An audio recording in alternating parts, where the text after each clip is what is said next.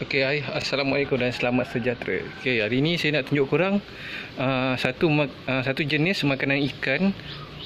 Uh, nama dia Dapnia SP. Uh, dia kuta air macam tu lah. Tapi kuta air dia macam orang kita panggil dia kuta air. Kalau bahasa market dia Dapnia SP. Kalau kita google pun dah ada keluar. Dia uh, monia monia tahu kan yang kuta air orang selalu beli tu yang warna merah tu. Ah, yang tu kalau yang tu pun ada juga. Tapi yang ni ada lagi satu. Ha, tapi yang ni kan ada jenis saiz besar sikit. Ha, lepas tu jenis tahan tahan lama lah. Kalau macam macam kutu air tu macam korang selalu kadang beli ada orang jual RM2 ke berapa tu yang yang warna merah tu itu selalu tak tahan lama. Kadang hari ni beli memang nak kena pakai habis. Ha, so sekarang kita nak buat review uh, DAP punya SP jenis besar lah. Okey. Jangan kita nampak tak? Ha, wah tu dia.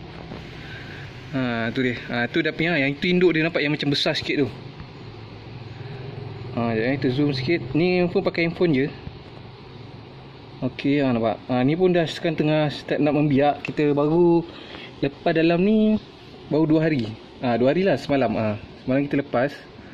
So petang ni kita akan letak uh, yeast ataupun uh, darah ikan, ikan punya sisa kan kita potong kan ada keluar darah-darah apa punya sisa tu pun kita boleh letak.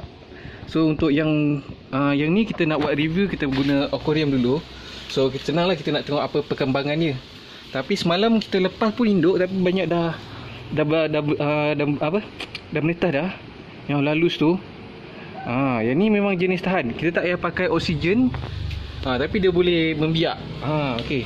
Yang ni kira senang lah tapi ni kita nak buat review dulu. So kalau macam berjaya, kalau jadi, ah, baru kita akan akan kita akan jual dia punya induk lah. Ha. Dia punya induk ni kita boleh post. Ah, jangan risau. Tapi bagi masa kita sebulan dua bulan. So kita ni dulu belajar ah, kita nak biak dia dulu. Kita buat review dulu. Ah nampak tak? Ah tu induk dia. Ah yang lalus tu anak dia. Ah induk dia memang senang nampak. Okey. Ah tu belah sana tu lagi. Ah nampak. Ah memang senang mata pun kita boleh nampak lah. Ah so yang ah dapnia ni dia semua ikan suka makan. Ah ikan gapi ke ikan kelaga ke tak kisahlah janji ikan air tawar semua dia makan. Ha, kalau macam dapnya ni letak kat air masih memang mati lah sebab dia asal memang air tawar. So ha, so kita nampak eh. Ha, ni kita buat macam habitat dia lah. Okey. Ha, macam kita buat macam habitat dia. Ha, tak ada guna oksigen. Air kita pakai air ikan yang lepas kita kan hari tu kita dah ada masuk induk kan. Sekarang kita pindah balik kita masuk yang ni ha. So lagi cepat lah dia senang nak membiak. Air pun elok. Ha, lepas tu kita bagi dia makan, kita bagi dia yang ni yeast. Ha, ni yeast. Okey, yeast uh, roti tu. Ha, tapi kau kena bancur lah ha, macam ni. Ha, ni kita ada buat contoh bancur dia tadi. Kita dah bancur dulu, lepas tu nanti kita akan tuang sikit-sikit lah untuk dia makan. Tapi dia makan dia memang uh, benda-benda macam ni lah. Ha, tu untuk penambahan dia. Okey. Ha, tu uh, ik- oh, ikan gapi tu kita tak keluarkan lagi. Tak apa.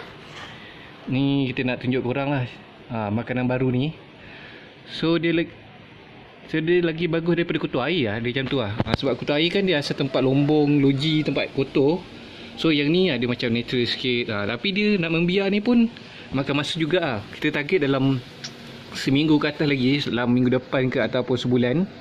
So nanti kita akan tengok perkembangan dia lagi. Okay Bila berjaya nanti kita Saya akan share korang macam-macam lagi. Ah, sebenarnya kita nak menternak ikan ni sebenarnya kita kena menternak makanan dulu. Ah, itu yang paling penting lah. Ah, kita kena belajar pasal makanan dia kan. Kalau tak ada makanan kan memang mati lah kadang sehari dua hari ke lepas menetas ah. Memang mati. So apa-apa korang terus follow channel ni Nanti kita akan update lagi Okay Bawah ni pun ada Kita ada buat Empat aquarium Okay, sekejap eh kita tengok Ni cahaya sangat ah tu Nampak eh dia Dia akan membiak tapi lambat sikit lah Ha nampak tak? Ha kita tengok lagi. Yuk. Ha kan? Besar kan? Ha yang ni semua dia punya induk. Ha induk dia. Induk dia punya ibu dia lah. Yang dah matang. Okey. Uh, so apa-apa korang terus subscribe ke channel ni. Yang korang belum subscribe Korang subscribe Korang tekan loceng. So nanti ada perkembangan baru Kita akan share dengan korang. Okay Nah ni kita tengok lagi. Ah, uh, cantik kan Macam Best pula bela benda ni. So kita kena Prepare makanan dulu Sebelum kita biak-biak ikan. Kalau macam korang ada bajet Korang boleh pakai timia Boleh je. Tapi yang ni Kita boleh ternak sendiri. Ha, Tapi kena kena makan masa sikit lah. So kita kena maintain dia. Ha, tapi mudah tak adalah siapa nak beli atim yang beratus tu kan. Kalau korang ada bajet boleh je. Ha, nanti bila ni dah berjaya nanti kita akan share. Lepas tu kalau kalau banyak baru kita akan start jual ha, yang ni kita boleh post ha, tapi sekarang jangan PM jangan whatsapp lagi memang kita tak jual ok so sekarang baru kita nak biarkan dia ok so apa-apa nanti kita akan update uh, So, jangan lupa like, comment, share dan klik subscribe video ni. Klik subscribe, uh, apa tu korang tekan loceng okey. Nanti kita akan ajar lagi cara-cara lain.